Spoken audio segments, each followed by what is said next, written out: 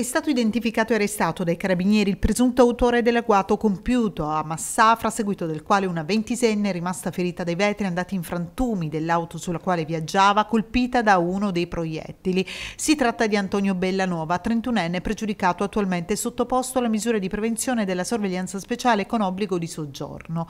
L'uomo, per motivi da ricondurre verosimilmente a pregressi contrasti personali, ieri ha sparato in piazza Vittorio Emanuele alcuni colpi d'arma da fuoco contro un altro pregiudicato pregiudicato 37enne, anch'egli sorvegliato speciale. L'obiettivo dell'agguato, che era in sella una bicicletta, ha evitato i colpi. Uno dei proiettili invece ha colpito accidentalmente l'unotto posteriore di un'autovettura Lancia Delta su cui viaggiava una famiglia. Le schegge di vetro hanno causato lievi lesioni a una ragazza. I carabinieri hanno recuperato alcuni bossoli di piccolo calibro, nonché due ogive. L'ascolto di testimoni e la visione delle immagini delle telecamere di videosorveglianza presenti nell'area hanno permesso di ricostruire l'intera dinamica, l'identificazione e la successiva cattura del presunto autore della sparatoria.